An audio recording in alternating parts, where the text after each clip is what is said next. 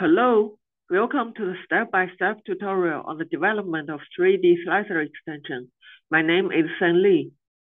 In this video, we will learn how to interact with slicer data through terminal, how to debug Python code using PyCharm, and figure out the pipeline of 3D slicer extension module. Let's continue from the last video where we created a custom extension module, T apply threshold.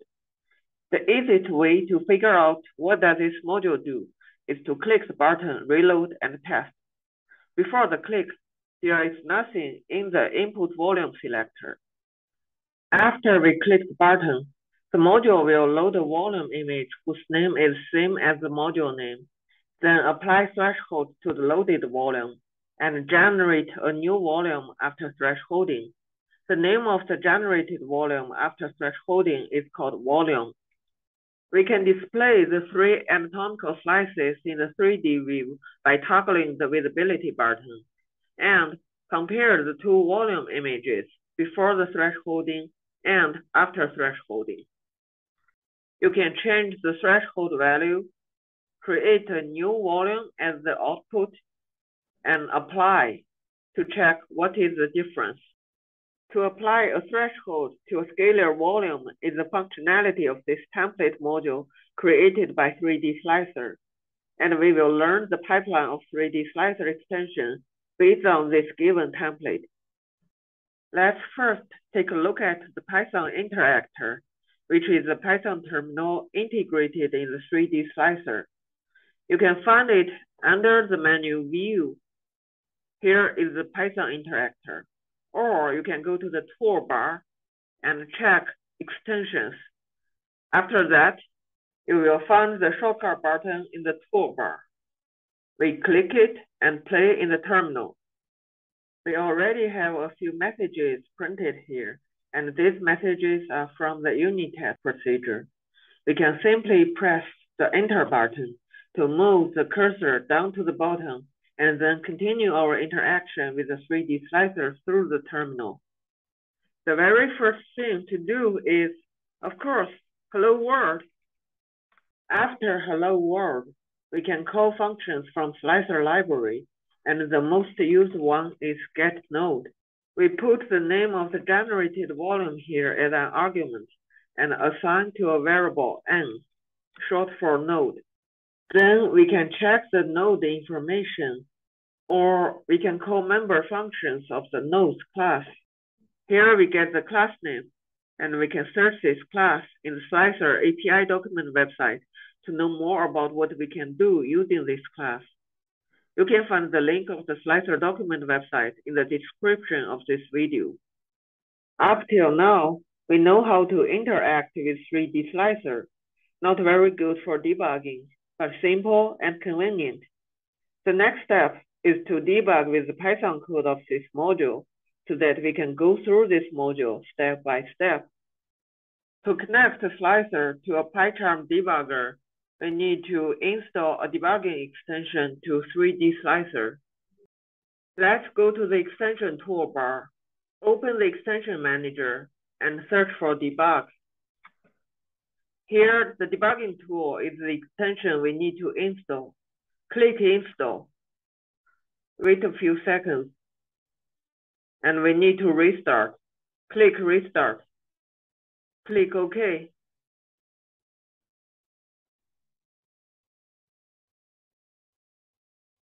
Here we go. We can find a new module in the category Developer Tools, and the module name is called Python Debugger. We need this module to connect to the PyCharm remote debugger server. Now the slicer preparation is ready. We can go to PyCharm to create a remote debugger.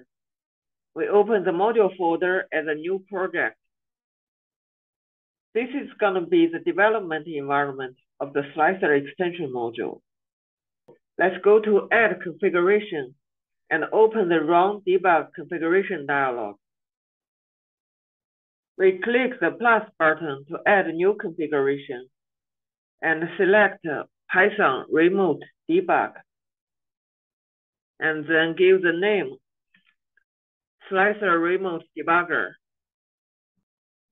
The last step is to change this port number to 5678, what you can remember, and then click OK.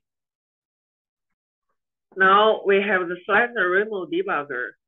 We can drop a breakpoint.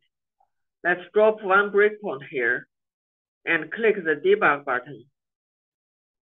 It says starting debug server at port 5678, waiting for process connection. We need to go back to Slicer to connect, do the handshake. If we unfold these settings, we can see the port number here is 5678, exactly the same with what we input in the PyCharm. Click the button Connect to PyCharm Debugger. It's connecting. We connected. Remember in PyCharm, we put the breakpoint somewhere in the module Python file. Now we expect the 3D slicer to stop at the breakpoint as we enter the module. We click our module shortcut button. Slicer freezes. It's good sign, right? Let's now go to PyCharm to check the debugger. We are currently in the class TApplyThreshold widget.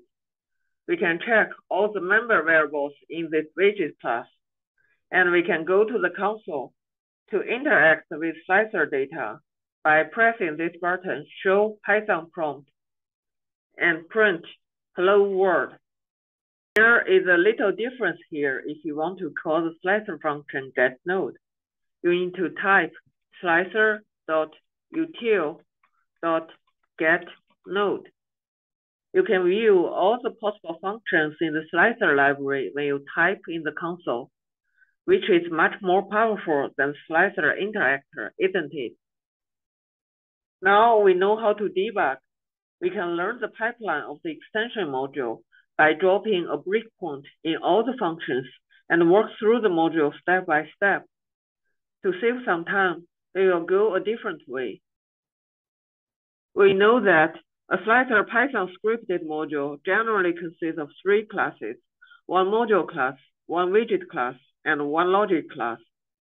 The module class allow us to edit the acknowledgement of our extension module. The widget class controls user interface related functions, and the logic class processes data and interacts with the normal nodes.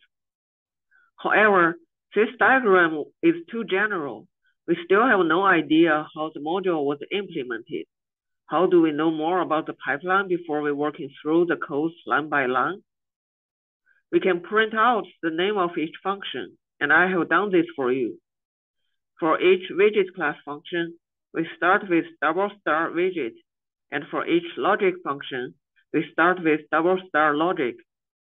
After we add the print functions, the module pipeline will be displayed in the Python interactor as we play with our module in 3D Slicer. I will show you the test result of four cases the first time we enter our module, the case we quit our module, the case we re-enter our module, and the case we reload our Python script. You can download my code from the GitHub link in the description. Now, let's go to the 3D slicer and check the pipeline. We open the Python interactor.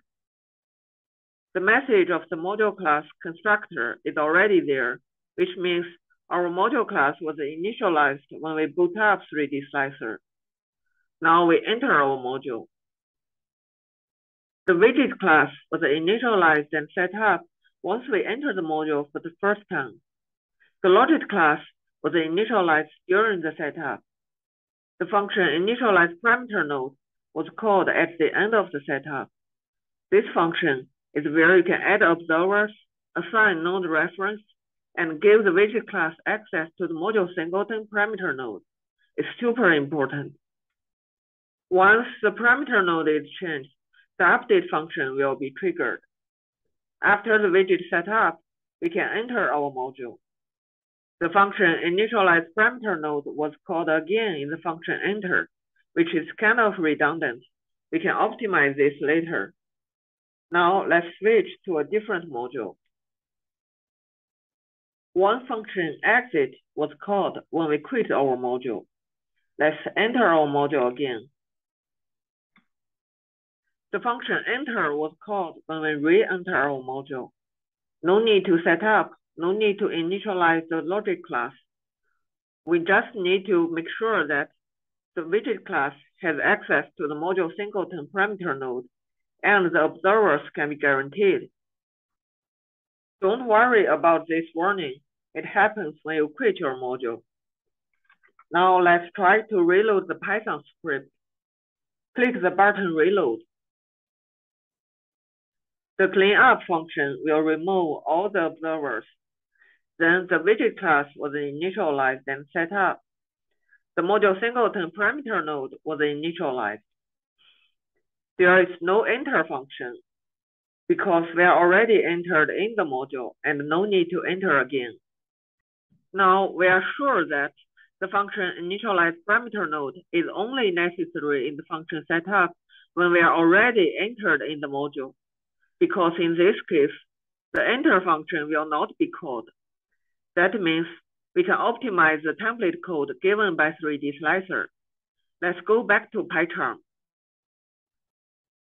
We are in the function setup. Let's go to the end and add something. By adding the test of the Boolean variable is entered, the function setup will call the function initialize parameter node only for the Python script reload, so that no more redundant when we enter the module for the first time. Let's restart Slicer and check again. We open the Python interactor and go to our module. The module singleton parameter node is initialized in the function enter, but not in the function setup. Great, we optimize the template code given by 3D Slicer. Let's make a summary. In this video, we learn how to interact with slicer data through Python interactor. We learn how to debug Python code using PyCharm. We figured out the pipeline of 3D slicer extension module under four different cases. We optimize the template code given by 3D slicer so that no more redundant function called in the widget setup function. That's it. If you have any questions or comments, please feel free to leave me a message and I will respond as fast as possible. I will see you in the next video. Thank you.